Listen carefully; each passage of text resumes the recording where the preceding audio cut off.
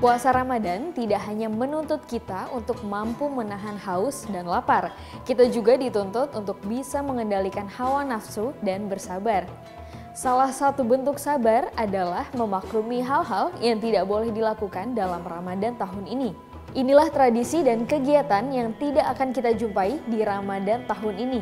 Tarawih berjamaah Sholat rawih yang biasanya dilakukan secara berjamaah di masjid, namun tahun ini masyarakat diminta untuk melaksanakannya di rumah masing-masing. Imbauan ini ditujukan dalam rangka memutus persebaran COVID-19 yang sedang mengancam masyarakat dunia termasuk Indonesia.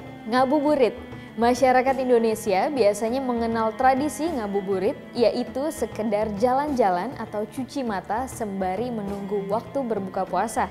Namun tahun ini ngabuburit tidak dianjurkan, apalagi buat kamu yang berada di daerah berstatus zona merah atau sedang menjalankan kebijakan pembatasan sosial berskala besar. Buka bersama. Buka bersama biasa dijadikan ajang silaturahmi maupun reuni dengan kawan lama.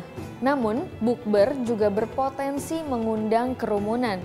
Hal ini tidak dianjurkan selama kita masih berada di masa pandemi corona.